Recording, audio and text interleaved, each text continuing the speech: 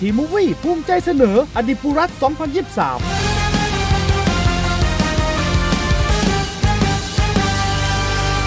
คำเตือน เนื้อหาในคลิปมีการสปอยหนัง คลิปนี้ผมขอคนละไลค์ถ้าคุณผู้ชมพร้อมแล้ว ไปรับชมรับฟังผมสปอยได้เลยครับ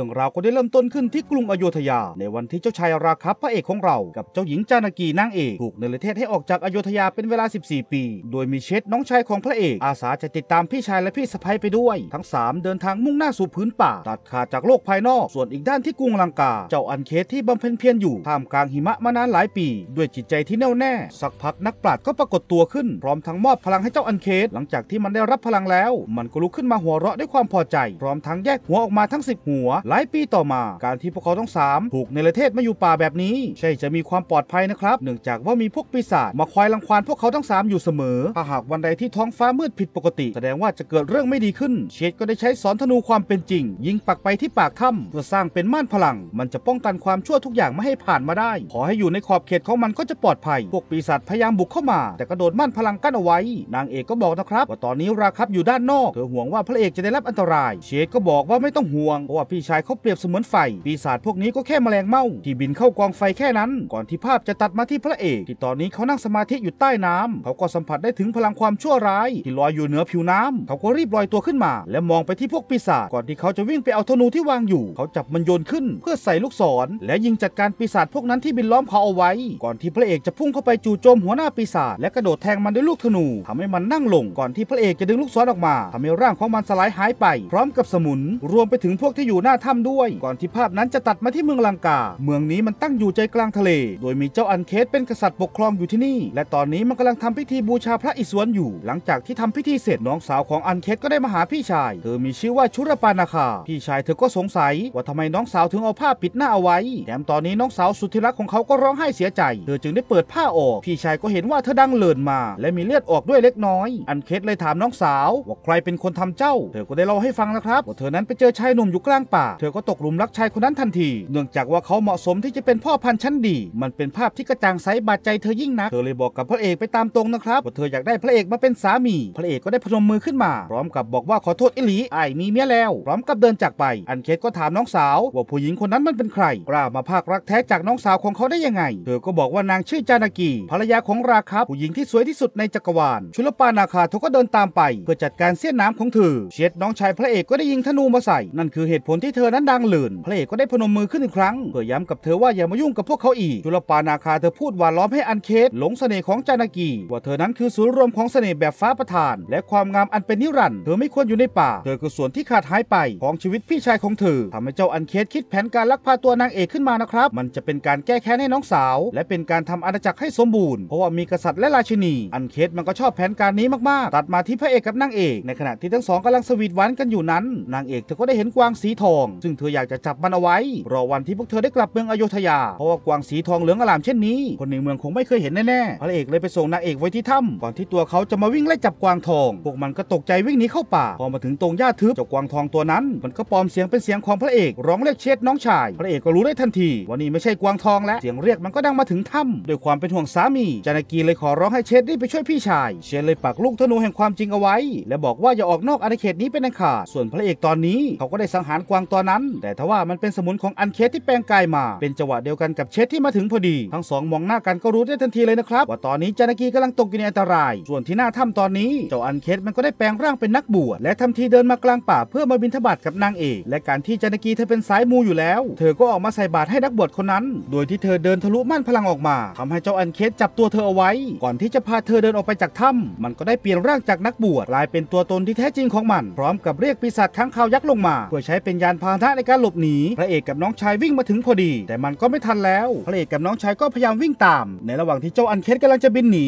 เหยี่ยวยักษ์เจ้าถิ่น มันก็พยายามบินเข้ามาช่วยนางเอกโดยมีพระเอกกับน้องชายกำลังวิ่งไล่ตามอยู่นางเอกก็รู้สึกตัวขึ้นพอดีเหยี่ยวพยายามบินไปเกี่ยวเชือกให้ขาดแต่ทว่าในระหว่างนั้นพวกค้างคาวตัวเล็กก็ได้บินมาล้อมตัวเหยี่ยวเอาไว้ เจ้าอันเคสเลยใช้จังหวะนี้ จัดการเหยี่ยวตัวนั้น โดยการกระโดดตัดไปที่ปีกของมัน และลงมาขี่ที่หลังค้างคาว เพื่อบินหนีต่อทำให้เจ้าเหยี่ยวยักษ์ตกจากที่สูงและเสียชีวิตต่อหน้าต่อตาพระเอกและน้องชายเขายืนมองดูนางเอกโดนลักพาตัวไป โดยที่เขาทำอะไรไม่ได้เลย ในระหว่างนั้น นางเอกก็ได้ดึงสร้อยไข่มุกของเธอออกมา และโยนมันลงไปที่กลางป่า เจ้าลิงจ๋อตัวหนึ่งก็ได้เก็บไข่มุกนั้นขึ้นมา ก่อนที่มันจะวิ่งหนีหายไป หลังจากนั้นสองพี่น้องก็มาชาพนกิจน้องเหยี่ยว และตัวของพระเอกเอง เขาจะต้องหาทางไปช่วยนางเอกให้ได้ ซึ่งตอนนี้นางเอกก็ได้มาถึงกรุงลังกาแล้ว พวกทหารออกก็พากระจับข้างคาวเข้าไปในกรงขัง นางสนมก็มาพานางเอกเดินเข้าไป ส่วนเจ้าอันเคสก็ได้เดินกลับเข้าวังโดยไม่สนใจใคร และนี่ก็คือน้องชายแท้ๆของเจ้าอันเคสเขามีชื่อว่าวิภาสิทธิ์ตัวของวิภาสิทธิ์เองเขาก็ไม่ค่อยชอบพี่ชายของเขาสักเท่าไหร่นะครับ ส่วนคนนี้เขามีชื่อว่าอินทรชิต เป็นทหารมือขวาของเจ้าอันเคสเจ้าแห่งภาพลวงตา มีความเร็วเหมือน The Flash ส่วนอีกคนที่ยืนมองอยู่ เธอก็คือว่าที่ราชินีของที่นี่ เธอมีชื่อว่าราชินีมันโดดาริ ซึ่งเธอก็รู้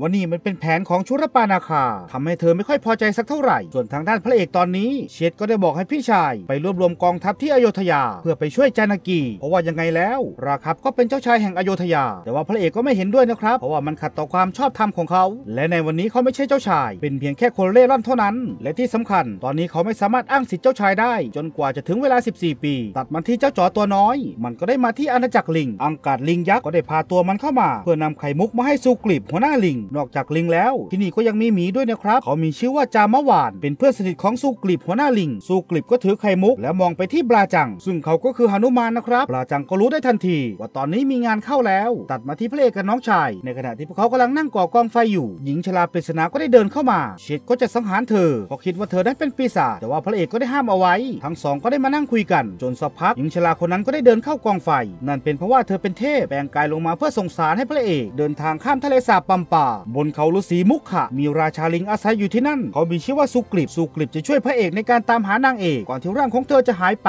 ส่วนเจ้าอันเคสตอนนี้ มันก็จับนางเอกมาขังเอาไว้ แต่ว่าเจ้าอันเคสมันบอกให้นางเอกเรียกมันว่าราวานนะครับมันถึงจะเป็นกันเองขึ้นมาหน่อยเพราะว่าต่อไปนี้จานากีจะต้องมาเป็นราชินีอยู่ที่นี่ แต่นางเอกก็บอกนะครับว่ายังไงแล้ว พระเอกจะต้องมาช่วยเธออย่างแน่นอน เจ้าราวานมันก็เลยบอกว่าไม่มีอะไรเข้ามาที่นี่ได้ เพราะว่ามันล้อมรอบด้วยทะเล หรือเว้นแต่มันจะอนุญาตเท่านั้น และมันก็เดินจากไปด้วยอาการหัวร้อน ส่วนพระเอกตอนนี้เขาก็มาถึงหนุมานแล้วนะครับหนุมานก็พาพระเอกกับน้องชายมาที่อาณาจักรลิง เพื่อมาหาสุกริบจะได้หาทางออกร่วมกัน ว่าจะมีทางไหนที่จะสามารถไปช่วยจานากีได้บ้าง สุกริบก็เอาไข่มุกของจานากีคืนให้กับพระเอกก่อนที่ช่วงเย็นในวันนั้นสุกริบจะเดินมาบอกพระเอกว่าตอนนี้เขาไม่มีกองทัพเหลืออยู่แล้ว เนื่องจากวาลีพี่ชายของเขาปนอาณาจักรและกองทัพของเขาไปหมด เขาจึงขอร้องให้ราคับพาเขาไปทวงบัลลังก์จากพี่ชายของเขาคืน ในเช้าวันต่อมาพระเอกก็พาพวกสุกริบมาที่อาณาจักรลิง ที่วาลีพี่ชายของสุกริบปกครองอยู่ พอมาถึงเขาก็ร้องเรียกพี่ชายให้ออกมา ไม่นานเจ้าวาลีก็ได้ออกมาตามคำท้า ทั้งสองก็ได้เข้าต่อสู้กันทันที แต่ทว่าวาลีนั้นมีพละกำลังที่แข็งแรงกว่าทำให้สุกริบโดนอัดไปหลายดอกวาลีก็ได้เหวี่ยงน้องชายไปโดนบ้านลิงทำให้มันเริ่มพังลงมา แต่ทว่าบนบ้านนี้มันก็มีลิงอาศัยอยู่นะครับในขณะที่บ้านลิงกำลังถล่มสุกริบก็ได้ไปพยุงมันเอาไว้ เพื่อถ่วงเวลาให้ลิงที่เหลือหนีออกมา แต่ทว่าเจ้าวาลีพี่ชาย มันก็ได้ใช้จังหวะนี้เข้าไปโจมตีสุกริบจากด้านหลังหนุมานไม่พอใจและกำลังจะไปช่วยจามาวานก็ได้ห้ามเอาไว้ แต่ว่าการทำเช่นนี้ มันทำให้พระเอกไม่พอใจ เขาจึงได้ทำการสังหารวาลีด้วยธนู มันทำให้ตอนนี้สุกริบก็กลายเป็นราชาโดยชอบธรรมและมันก็ทำให้ตอนนี้เขามีกองทัพแล้วกลางดึกคืนนั้น พวกเขาก็ได้มาวางแผน ว่าจะไปช่วยจานากีได้ยังไงจามาวานก็ได้ออกความเห็น ว่าเราควรไปเตือนจานากีก่อน ถึงแผนการที่พวกเราจะบุกไปพระเอกก็ได้เอาแหวนให้กับหนุมานเพราะถ้าจานกีเห็นแหวนนี้เธอจะไว้ใจหนุมานนะครับว่าหนุมานนั้นเป็นผู้ทรงสารของพระเอกตัดมาที่เจ้าอันเคสตอนนี้มันกำลังนั่งดูทหารมือขวาและมือซ้ายของมันประลองกันอยู่ โดยที่อินทรชิตใช้ความเร็ว ส่วนกุมภกันนั้นมีร่างยักษ์และมีพละกำลังที่มหาศาลวิภาสิทธ์ก็ได้บอกพี่ชาย ว่าเขาควรปล่อยจานกีไป แต่ว่าเจ้าอันเคสมันต้องการชนะใจจานกี มันก็ได้แยกหัวออกมาเพื่อปรึกษากัน มันบอกว่าราวานสิบหัวหนึ่งตัวมีพลังที่มากกว่า ราคับสิบคนรวมกันซะอีก มันจะต้องสังหารราคาเพื่อชนะใจจานกีให้ได้หลังจากนั้นมันก็ได้มาบอกกับน้องชาย ว่ามันจะไม่ยอมปล่อยเธอไป น้องชายก็บอกนะครับว่าพี่ชายจะนำสงครามมาสู่เมือง ตัดมาที่หนุมาน ตอนนี้เขาต้องเหาะข้ามทะเลไปที่กรุงลังกา โดยมีอังกาจามาวาน และสมุนลิงมาส่งเขาหนุมานก็ได้ขยายร่างให้ใหญ่ขึ้น เพื่อทำการเหาะข้ามทะเลไปด้วยความเร็ว ไม่นานเขาก็ได้มาถึง เขาได้โยนแหวนลงมาให้จานากี และบอกว่าราคับเป็นคนส่งเข้ามา และบอกแผนการทั้งหมดให้จานากีฟัง แต่ทว่าทันใดนั้น อินทรชิตก็ได้เดินผ่านมา เขาก็เจอว่ามีคนบุกรุก เขาก็ได้ทำการจับตัวหนุมานเอาไว้พร้อมร้อมกับพาเขาไปหาอันเคสพวกเขาก็ถามนะครับว่าหนุมานคือใคร เขาก็บอกว่าเขาคือผู้ส่งสารแห่งอโยธยา และภายในกรุงลังกานี้ ก็มีกฎหมายห้ามฆ่าผู้ส่งสาร อันเคสเลยสั่งให้อินทรชิตไปตัดหางของเขาแทน มันก็จะเผาหางของเขาและจับเขาโยนลงหน้าผา แต่ว่าเจ้าอินทรชิตมันไม่รู้มาก่อน ว่าตัวหนุมานนั้นสามารถเหาะได้หนุมานก็ได้เหาะเข้ามาที่ใต้ฐานทัพของพวกมัน พร้อมกับทำการเผาทุกอย่างทิ้ง เพื่อเป็นการตัดกำลังกองทหารของเจ้าอันเคสหลังจากนั้นหนุมานก็ได้มาหาจานากี และบอกให้เธอไปกับเขา แต่ว่าเธอก็ปฏิเสธนะครับเพราะเธอนั้นอยากให้พระเอกมาสั่งสอนเจ้าอันเคสมันจะได้หายซ่าสักทีเธอได้มอบกำไลให้กับหนุมาน ก่อนที่เขาจะเหาะกลับไป และตอนนี้กองทัพของพระเอกก็ได้เดินทางมาถึงชายหาดแล้ว เป็นจังหวะเดียวกันกับหนุมานเหาะมาถึงพอดี เขาได้เอากำไรของจานากีมาให้พระเอกพร้อมกับบอกว่าตอนนี้เธอสบายดี และบอกว่าเธอรอพระเอกอยู่ ก่อนที่เจ้าราวานมันจะทำอะไรไม่ดี พระเอกจะต้องไปถึงกรุงลังกาก่อนราคับก็เดินไปที่โขดหิน เพื่อทำการยิงธนูสายฟ้าลงทะเล เพื่อหวังว่าจะให้ทะเลนั้นเปิดทางออก ในขณะที่เขากำลังจะยิง ทะเลก็ได้ปรากฏตัวขึ้น พร้อมกับบอกว่าเขาไม่สามารถแหวกทะเลให้กับพระเอกได้ แต่ว่าทะเลก็จะช่วยนะครับเขาได้บอกให้พระเอกโยนหินลงน้ำเพื่อทำเป็นทางเอา ทะเลสัญญาว่าก้อนหินพวกนั้นจะไม่มีทางจม ก่อนที่สมุนลิงจะพากันโยนหินลงน้ำเพื่อทำเป็นทาง แต่ถ้าว่าก้อนหินที่จะทำเป็นทางนั้นมันต้องใช้จำนวนมาก พวกเขาเลยพากันไปทุบภูเขา แล้วค่อยๆลำเลียงไป พวกเขาก็ได้ทำงานจากเช้าถึงค่ำจนกระทั่งคืนหนึ่ง วิภาสิทธิ์น้องชายของอันเคสก็ได้เดินทางมาหาพระเอก เพื่อมาขออยู่ร่วมทีมกับพระเอกด้วย เนื่องจากเขาไม่ชอบการกระทำของพี่ชาย พระเอกก็เห็นว่าวิภาสิทธิ์มีความตั้งใจ และกล้าที่จะเดินทางมาหาศัตรู เขาก็ได้เชื่อใจนะครับ พร้อมกับบอกว่าหลังจากที่เขาชนะราวานแล้ว วิภาสิทธิ์จะได้ขึ้นครองราชเป็นกษัตริย์ลังกา ในเช้าวันต่อมาพวกเขาก็พากันเดินทัพข้ามสะพานที่สร้างขึ้น ไม่นานพวกเขาก็ได้มาถึง ซึ่งตอนนี้กองทัพของเจ้าราวานก็ได้ตั้งกองกำลังไว้รอแล้ว ไม่นานเจ้าราวานก็ได้ขี่ข้างคาวยักษ์ลงมา เจ้าอินทราชิตก็ได้ดึงนางเอกที่ล่ามโซ่ออกมาด้วย มันก็ได้ปล่อยเธอ พร้อมกับบอกให้เธอรีบวิ่งไป ซึ่งเธอก็งงมากนะครับทำไมมันถึงง่ายได้เช่นนี้ เธอรีบวิ่งมาหาพระเอก พระเอกก็รีบวิ่งเข้าไปหาเธอ ในระหว่างที่ทั้งสองกำลังจะถึงกัน เจ้าอินทราชิตก็ได้วิ่งมาด้วยความเร็วสูง มันได้ปาดคอเธอต่อหน้าพระเอก แต่ว่าความจริงแล้ว นั่นไม่ใช่นางเอกนะครับ มันคือลูกสมุนของเจ้าราวานที่ปลอมตัวมา หลังจากนั้นสมุนของมันก็ได้มาล้อมพวกพระเอกเอาไว้ เจ้าราวานก็ใช้ความเร็วที่มี วิ่งเข้ามาจัดการทีละคน และมันก็ได้ใช้อาวุธพิษของมันโจมตีน้องชายของพระเอก แต่ว่าตอนนี้เขายังไม่ตายนะครับ แต่ก็ต้องรีบไปรักษาตัวให้ทัน เพราะว่าตอนนี้พิษกำลังแล่นเข้าสู่หัวใจ หลังจากนั้นพวกเขาก็ได้กลับมาที่แคมป์เพื่อรักษา วิภาสวรรค์ก็ได้บอกนะครับว่ามีทางเดียวที่จะหยุดพิษของอินทรชิตได้ การรักษาวิธีนี้เธอไม่เคยลอง แต่มันก็เป็นหนทางเดียวที่น้องชายของพระเอกจะมีชีวิตรอด มันคือซันจีวานี อยู่บนภูเขาโดนากิริซึ่งมันก็ไกลจากที่นี่มากๆนะครับ กว่าจะเดินทางไปถึงและกลับมามันก็คงไม่ทัน มีคนเดียวที่สามารถทำได้นั่นก็คือหนุมาน